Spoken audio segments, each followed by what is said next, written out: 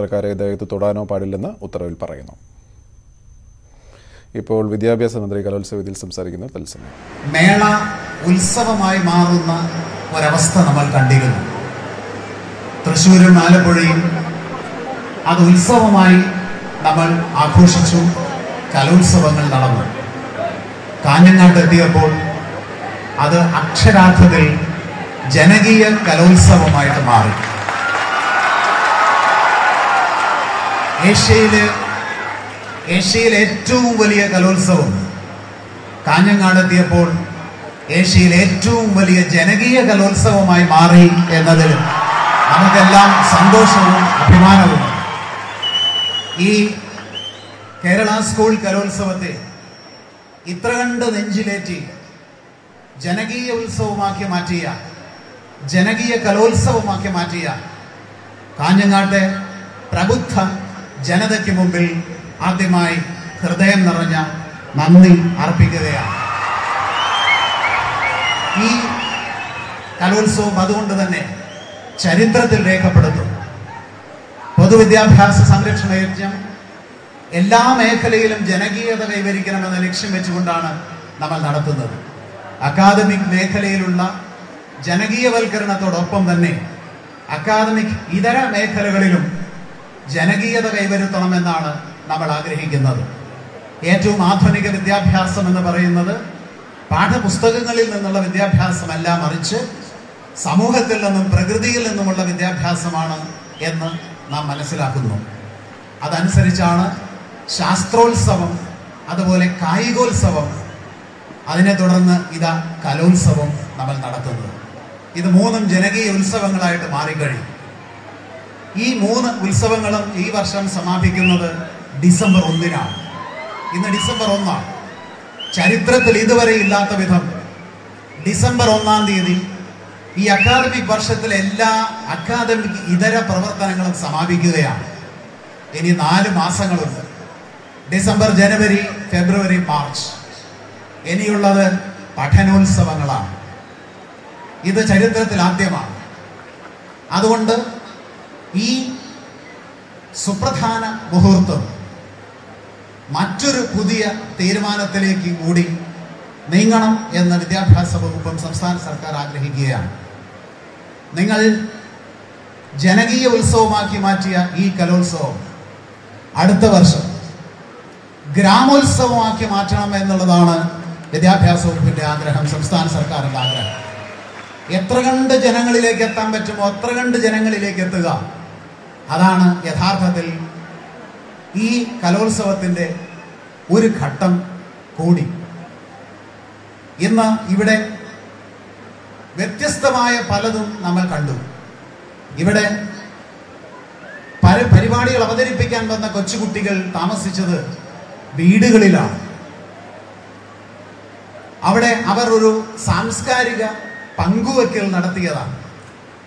മനസ്സും മനസ്സും പങ്കുവെക്കാനുള്ള അവസരം അവർ മറ്റൊരു നാട്ടിൽ വന്നുണ്ടായിരിക്കുകയാണ്. അവരുടെ ഭക്ഷണക്രമം അവരുടെ സംസാരം ഇതെല്ലാം പലർക്കും പുതുമയാണ്. സാംസ്കാരിക വൈവിധ്യം അതുപോലെ മറ്റെല്ലാ മേഖലകളിലെ വൈവിധ്യം അവർ നേരിട്ട് രുചിച്ചറിയുകയാണ്. ഇതൊരു പാഠപുസ്തകമാണ്. ലോഡ്ജിൽ വന്ന് താമസിച്ച് അവിടെ വേഷമിട്ട് സ്റ്റേജിൽ വന്ന് അവതരിപ്പിച്ച് തിരിച്ച് ലോഡ്ജിലെത്തി അവിടേക്ക് ഭക്ഷണപ്പൊതി എത്തിക്കുന്ന പഴയ രീതി മാറി.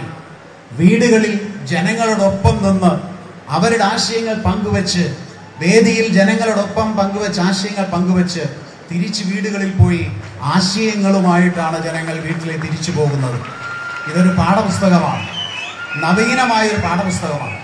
അതുകൊണ്ട് തന്നെ അടുത്ത വർഷം കൂടുതൽ ജനകീയമായി ഗ്രാമോത്സവമായി കലോത്സവം നടത്തും. അടുത്ത വർഷം കൊല്ലം ജില്ലയിലാണ് ഈ കലോത്സവം നടത്തണം എന്ന് വിദ്യാഭ്യാസ വകുപ്പും സംസ്ഥാന സർക്കാരും ആഗ്രഹിക്കുന്നത്. ഈ കലോത്സവം വിജയിപ്പിച്ച എല്ലാവരും നേരത്തെ ബഹുമാനപ്പെട്ട ഈ ചന്ദ്രശേഖരൻ മിനിസ്റ്റർ പറഞ്ഞതുപോലെ എല്ലാവരുടെയും പേരെടുത്ത് പറയേണ്ടതാണ്. എല്ലാവരും അക്ഷരാർത്ഥത്തിൽ നല്ലതുപോലെ പ്രവർത്തിച്ചു.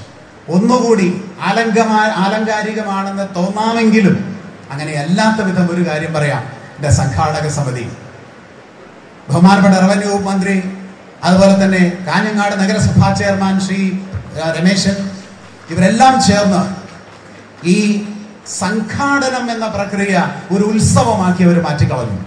ഇത് ഒരു അത്ഭുതമാണ് പൊതുവിൽ സംഘാടനം ബുദ്ധിമുട്ടുള്ളതും പലതരത്തിൽ അത് പെട്ടെന്ന് അങ്ങനെ നടത്താൻ പറ്റാത്തതുമാണ്.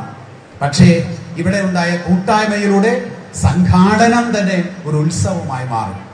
അത് ഈ ഗ്രാമോത്സവത്തെ യഥാർത്ഥത്തിൽ ഉത്സവമാക്കി മാറ്റുന്നതിനുള്ള ഒരു ഘടകം കൂടിയാണ് സംഘാടക സമിതിയിലെ മുഴുവൻ പേരെയും.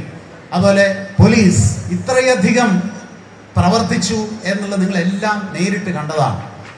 ഇവിടെ ഉണ്ടായ ട്രാഫിക്കിന്റെ പ്രശ്നങ്ങളെല്ലാം ഗ്രാമങ്ങളിലേക്ക് കലോത്സവം വരുമ്പോൾ ഉണ്ടാകുന്ന പ്രശ്നങ്ങൾ നമ്മൾ തിരിച്ചറിയുകയാണ്. ഓരോ ചെറിയ പ്രശ്നങ്ങളും വിദ്യാഭ്യാസ വകുപ്പ് പാഠപുസ്തകങ്ങളായിട്ട് എടുക്കുകയാണ് പാഠങ്ങളായിട്ട് എടുക്കുകയാണ്. അത് അടുത്ത വർഷം പരിഹരിക്കണം.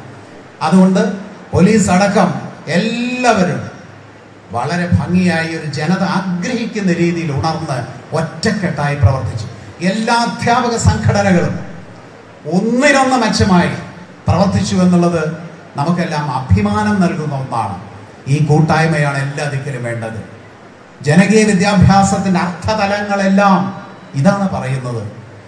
വിദ്യാഭ്യാസം ഒരു ജനതയുടെ നേതൃത്വത്തിൽ നടക്കുമ്പോൾ ആ ജനത ഒറ്റക്കെട്ടായി ആ വിദ്യാഭ്യാസത്തെ നയിക്കുന്ന ഒരു അവസരം ഉണ്ടാകണം അതാണ് ഇന്ന് ലോകം കാതോർത്തിരിക്കുന്നത്.